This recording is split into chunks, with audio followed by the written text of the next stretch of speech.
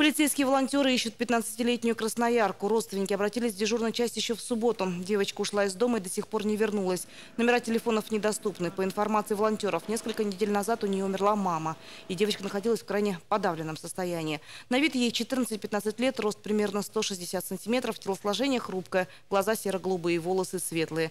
Была одета в темно-синюю куртку, серую шапку и светло-голубые джинсы. Если вы видели или знаете, где она находится, то обращайтесь в отдел полиции номер 3 по телефону 213 45 77 или 02.